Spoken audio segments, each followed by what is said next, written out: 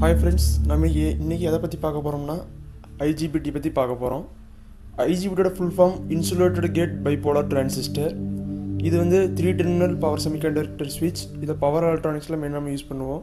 இது ஐஜிபிடியோட simple CGE இது வந்து combination of BJT and MOSFET பிஜேடியோட advantage என்னென்னு பார்த்தீங்கன்னா low conduction loss in on state condition and longer turn off time மாஸ்ஃபெட்டோட advantage disadvantage என்ன பார்த்தீங்கன்னா high conduction loss in on state condition advantage low turn on and turn off time இது ரெண்டையும் over company தான் மா IGP design பண்ணிக்கிறாங்க.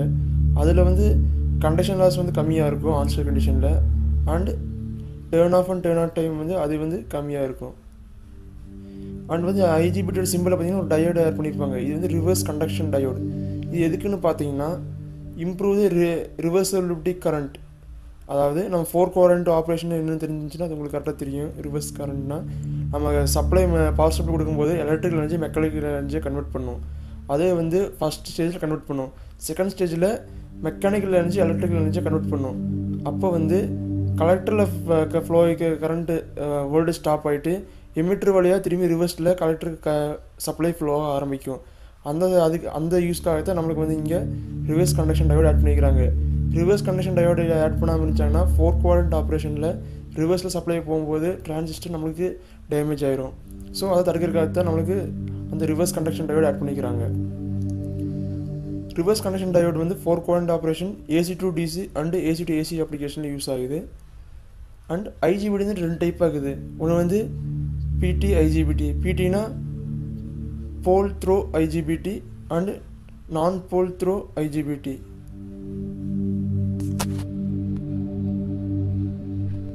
sorry தப்பாக சொல்லிட்டேன். பிடினா punch through IGBT and என்பிடினா non punch through IGBT punch through ஐஜிபிடியில் பார்த்தீங்கன்னா ஒரே ஒரு டிரான்சிஸ்டர் மட்டும்தான் ஒரே ஒரு டிரான்சிஸ்டர் மட்டும்தான் ஃபார்ம் ஆயிருக்கும். த்ரீ லீட்ஸ் டிஜிஎஸ் டியில் வந்து நம்ம விசிசி அப்ளை பண்ணுவோம். ஜியில் வந்து நம்ம இன்புட் சிக்னல் கொடுப்போம். அதாவது ஸ்கொயர் வேவ் சிக்னல் என்ன சிக்னல் கொடுப்போம். அண்ட் எஸ் வந்து பார்த்தீங்கன்னா சோர்ஸ் க்ரௌண்ட் பண்ணியிருப்போம். அதில் வந்து இங்கே வந்து பிடிஐஜிபிடியில் வந்து ஒரு ஹோல்ஸ் மாதிரி இருக்குது நீங்கள் பார்த்தீங்கன்னா தெரியும். அது வந்து ட்ரெயின் பாயிண்ட்னு சொல்லுவாங்க. என் ப்ளஸ் பஃபர்லேயே வந்து எக்ஸ்ட்ராவாக ஆட் ஆகிருக்கு இதில். அண்ட் நான் பஞ்ச் த்ரோ ஐஜிபிடி இது வந்து மெயினாக ஏசி அப்ளிகேஷன்ஸில் யூஸ் பண்ணுவாங்க. இது வந்து டிசி அப்ளிகேஷனில் யூஸ் பண்ணுவாங்க. அண்ட் என்பிடி ஐஜிபிடி பார்த்தீங்கன்னா ரெண்டு டிரான்சிஸ்டர் இதில் ஃபார்ம் ஆகிருக்கும் இதுதான் pin diagram of NPT IGBT இதில் வந்து ரெண்டு டிரான்சிஸ்டர் சீரீஸ் ஆட் பண்ணியிருப்பாங்க. இது மெயினாக டிசி ஏசி அப்ளிகேஷன்ஸில் யூஸ் ஆகுது. இது எப்படி நம்ம செக் பண்ணலாம் ஒர்க்காக ஒர்க்கிங் இருக்குன்னு செக் பண்ணலான்னு பார்த்தீங்கன்னா மல்டிமீட் மல் மல்டிமீட்டர் வந்து டயோட் மோடில் செட் பண்ணிக்கங்க.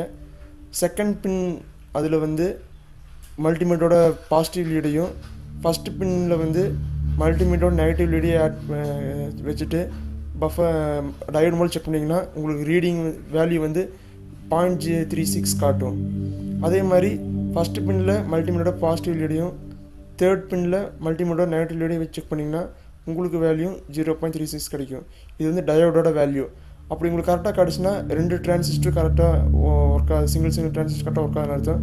அண்ட் செகண்டில் வந்து பாசிட்டிவ் லீடையும் தேர்டில் வந்து நெகட்டிவ் லீடியை வச்சுட்டு மல்டிமீட்டரில் பார்த்தீங்கன்னா உங்களுக்கு பாயிண்ட் செவன் வேல்யூ கிடைக்கும். ரெண்டு டயோடோட டோட்டல் வேல்யூ உங்களுக்கு கிடைக்கும். அப்படி ஒர்க் அப்படி காட்டுச்சுன்னா ரெண்டு டிரான்சிஸ்டரும் கரெக்டாக உங்களுக்கு ஒர்க் ஆகுதுன்னு அர்த்தம். இது வந்து four குவான்டர் operation single phase four குவான்டர் operation இது ரெண்டு சேர்ந்தது ஒரு ஐஜிபிடி இது ரெண்டு சேர்ந்தது ஒரு ஐஜிபிடி சிம்பிளில் பார்த்தீங்கன்னா விசிசி இந்த தேர்ட் பின்னில் அப்ளை பண்ணுவோம். செகண்ட் பின்னை வந்து நம்ம கிரவுண்ட் பண்ணியிருப்போம். ஃபர்ஸ்ட் பின்னில் அவுட்புட் எடுத்திருப்போம். இந்த ஃபோர்த் பின்னில் நம்ம நம்ம input signal square square signal தருவோம் அண்ட் ஃபிஃப்த் பின் கிரவுண்ட் இது இந்த பின் தான் பின் தான். இது ஃபோர் அண்ட் ஃபைவ் இது சிக்ஸ் அண்ட் செவன் இது வந்து ஃபஸ்ட்டு பின் இது செகண்ட் பின் இது தேர்ட் பின் இது விசிசி இது அவுட்புட் சிங்கிள் ஃபஸ்ட்டு பின் இது வந்து second pin ground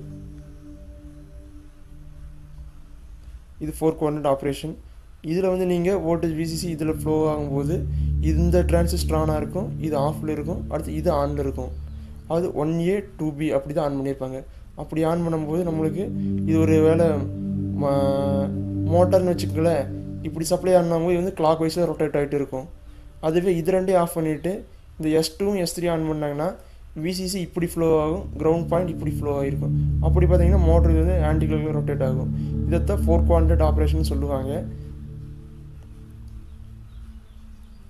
and N non punch through IGBT and punch through ஐஜிபிடியோட difference என்ன பார்த்தீங்கன்னா பஞ்ச் த்ரோட ஐஜிபிடி வந்து அசிமெட்ரிக்கல் இது வந்து என்பிடி வந்து சிமெட்ரிக்கல் என்பிடியில் வந்து equal forward and reverse break down voltage இருக்கும் ஆனால் பஞ்ச் த்ரோவில் வந்து forward break down voltage is less than forward break down voltage sorry